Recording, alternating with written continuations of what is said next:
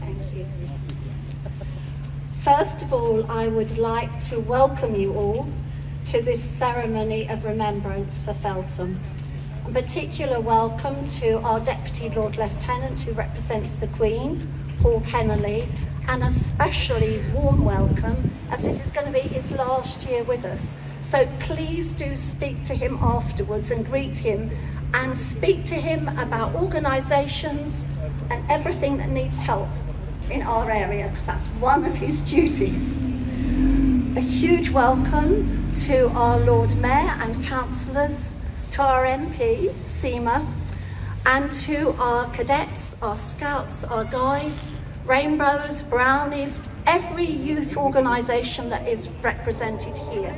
And to those of you who are veterans,